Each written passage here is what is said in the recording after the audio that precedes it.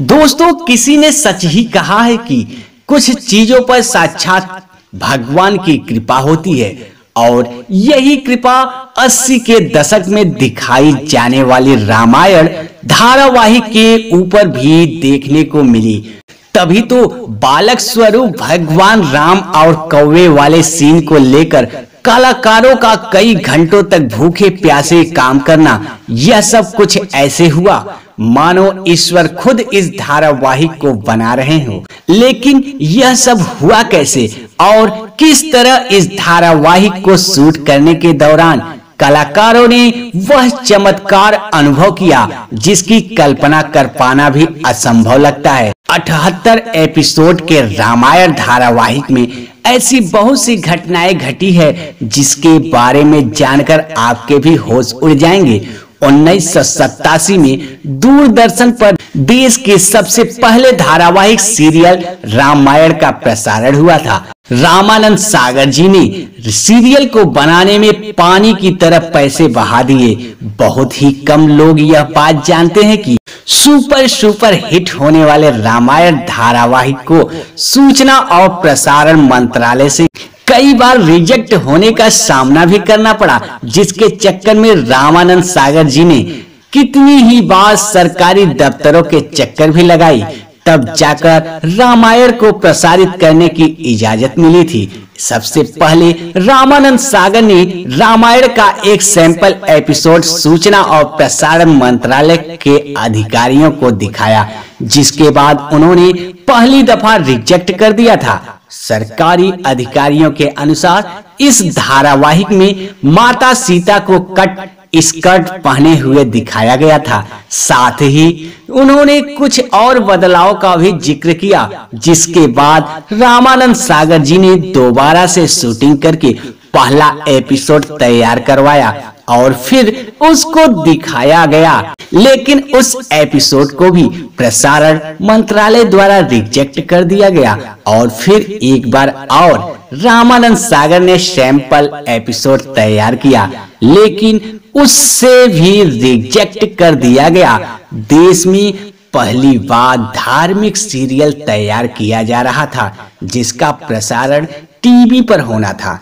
इसलिए इस बात का सुनिश्चित होना बहुत ज़रूरी था कि किसी भी प्रकार की कोई कमी ना रह जाए। जिससे लोगों की धार्मिक भावनाओं को ठेस ना पहुँचे।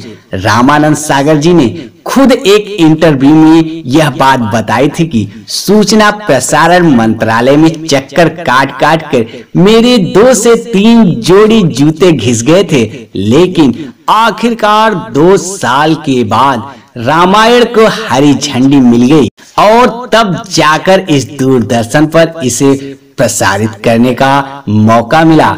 उस समय फ़िल्में जितने बजट में बनकर तैयार होती थी, उससे ज़्यादा पैसों में दोस्तों रामायण का एक एपिसोड तैयार किया गया था।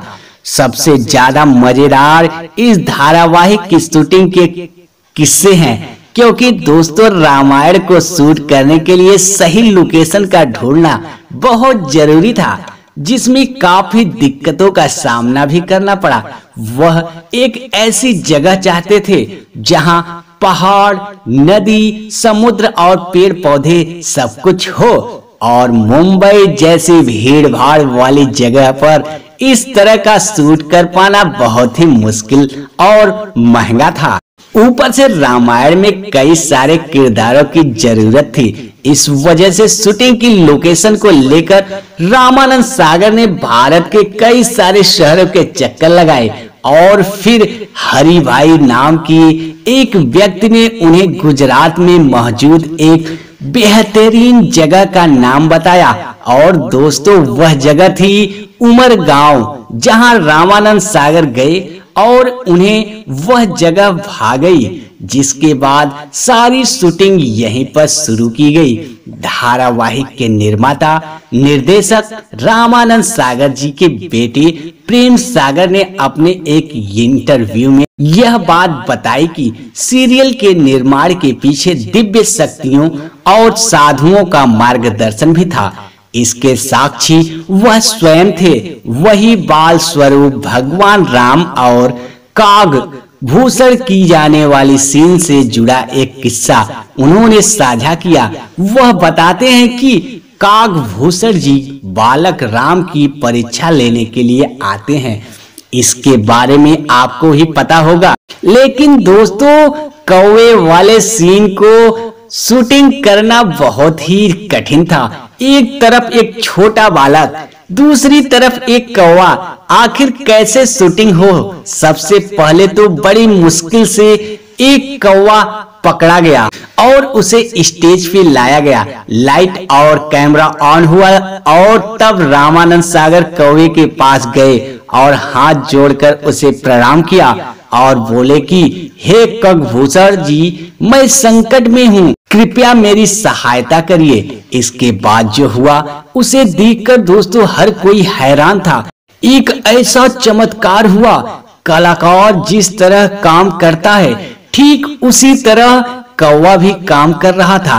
प्रेम सागर बताते हैं कि जब पापा जी कहते थे कि बच्चों को देखा तो कौवा उसकी तरफ़ देखता था। तब रामानंद सागर जी कहते थे कि वह रोटी लेने लगता था। वह बच्चों के साथ ऐसे खेल रहा था, मानो कोई पालतू कौवा हो। यह सब देखकर कोई भी यकीन नहीं करेगा। मानो, कागभूषण जी स्वयं ही शूटिंग कर रहे हो, लेकिन जैसे ही कैमरा और लाइट ऑफ़ हुई तो वह उड़कर ना जाने कहा गायब हो गया। रामायण में माता सीता का किरदार निभाने वाली दीपिका चिखिलिया के अनुसार रामानंद सागर हर एक सीन को बिल्कुल परफेक्ट तरीके से करना चाहते थे। उन्हें किसी भी प्रकार की कमी नहीं चाहिए थी। वह रात में दो तीन बजे तक शूटिंग करते थे, इसलिए दीपिका पूरे महीने साइट पर ही बिताती। उनका मुंबई आना जाना भी नहीं हो पाता था। और आपको बता दे, जब रामायण की शूटिंग हुई तो उस टाइम दीपिका की उम्र मात्र पंद्रह साल थी। और जब उन्हें यह रोल ऑफ़र हुआ तो उन्हें इस बात का बिल्कुल भी अंदाज़ा नहीं था कि यह सीरियल इतिहास रचने वाला है। दीपिका ने अपने एक इंटरव्यू में यह बात बताई। इस सीता का किरदार करने के बाद उन्होंने कभी भी छोटी ड्रेस पहनी ही नहीं। दोस्तों, रामायण में काम करने वाले हर एक किरदार को लोग बिल्कुल असली समझते थे। भगवान राम का किरदार निभाने वाले अरुण गोविल को देखकर लोगों को ऐसा लगता, जैसे भगवान राम आ गए हो। वह जहाँ कहीं भी जाते, लोग उनके पैरों पे गिर जाते। यहाँ तक कि आज भी अरुण गोविल को लोग भगवान राम कहकर बुलाते हैं। पर बहुत ही कम लोग यह बात जानते हैं कि भगवान राम के किरदार के लिए अरुण गोविल को पहले रिजेक्ट कर दिया गया था। जी हाँ लेकिन बाद में उनकी मासूम और प्यारी मुस्कान को देखकर रामानंद सागर ने इन्हें अपना राम चुन लिया। वैसे अरुण गोविल से जुड़ा एक बहुत ही इंटरेस्टिंग किस्सा है। वह यह है कि जब भरत के द्वारा भगवान राम को यह सूचना मिलती है कि राजा दशरथ नहीं रहे तो उस समय कैसा रिएक्शन देना चाहिए, यह तय कर पाना अरुण साहब के लिए बहुत मुश्किल था, क्योंकि वह एक भगवान का किरदार अदा कर रहे थे। और भगवान रो नहीं सकते और चेहरे उदासी का भाव लाने नहीं देना था, क्योंकि भगवान राम की पहचान ही उसकी सादगी और हर परिस्थिति में स्थिर रहने के कारण जाना जाता था। इसलिए यह सीन अरुण जी के लिए बहुत ही चैलेंजिंग था, लेकिन बाद में उन्हें इस सीन के लिए खूब तारीफ़ भी मिली। यहाँ तक कि भगवान राम की आँखों में आँसू देखकर जनता के भी आँसू छलक पड़े। लोग यह महसूस कर पा रहे थे कि पिता के जाने का गम भगवान राम को कितना हुआ है। भगवान राम के परम भक्त हनुमान जी का किरदार निभाने वाले दारा सिंह जी को भला कौन भूल सकता है? उन्होंने पर्दे पर इस किरदार को दोस्तों एकदम जीवंत बना दिया। लेकिन बहुत ही कम लोग यह बात जानते हैं कि जब रामानंद सागर ने उन्हें यह रोल ऑफ़र किया तो उन्होंने इसे करने से साफ़ मना कर दिया था, क्योंकि उस समय दारा सिंह साठ साल के हो गए थे। इसलिए अपनी उम्र का हवाला देकर उन्होंने काम करने से इनकार कर दिया था। पर जब रामानंद सागर जी ने काम करने के लिए जिद करी, तब जाकर उन्होंने हनुमान जी का किरदार निभाने के लिए हाँ कर दिया। क्योंकि रामानंद सागर जानते थे कि इस किरदार को कोई भली भांत इंसान कर सकता है तो वह सिर्फ़ दारा सिंह ही है। और इस किरदार को निभाने के लिए दारा सिंह ने अपनी श्रद्धा से चिकन मटन जैसी सभी चीज़ों को त्यागने की शपथ ली थी। दारा सिंह हनुमान जी के बहुत बड़े भक्त थे। इसलिए उन्होंने यह कहा था कि जब तक वह शूटिंग पूरी नहीं कर लेते तब तक वह चिकन मटन को हाथ भी नहीं लगाएँगे। और दोस्तों, नटखट, लेकिन तेज लक्ष्मण का किरदार निभाने वाले सुनील लहरी को भी लोगों ने खूब पसंद किया। अपनी शूटिंग के दिनों को याद करते हुए वह कहते हैं कि रामायण की शूटिंग शुरू हुई थी तो कई सारे कलाकार पानी पीना तक छोड़ देते थे और वह पाँच से छह घंटे तक पानी नहीं पीते थे, क्योंकि रामायण की शूटिंग के समय आज जितनी सुविधा उपलब्ध नहीं थी। साइट पर वॉशरूम की काफ़ी दिक्कतें थी, जिसकी वजह से लोग पानी तक नहीं पीते थे, क्योंकि अगर पानी पिएँगे तो टॉयलेट जाना पड़ेगा, और गाँव में ऐसी कोई भी सुविधा नहीं थी। पूरे फोकस के साथ सिर्फ़ और सिर्फ़ शूटिंग पर ध्यान देते थे कई दिनों तक लोग अपने घरों पर बात भी नहीं कर पाते थे। इसके बारे में बताते हुए सुनील लहरी कहते हैं कि उन दिनों हम शहर से बाहर शूटिंग कर रहे थे, जहाँ पर किसी भी प्रकार के फ़ोन का इंतज़ाम नहीं था। वहीं से कुछ दूरी पर टेलीफोन की सुविधा थी। जहाँ पे लोग जाकर अपने घर वालों से बात करने के लिए घंटों तक लाइन लगाकर खड़े रहते थे।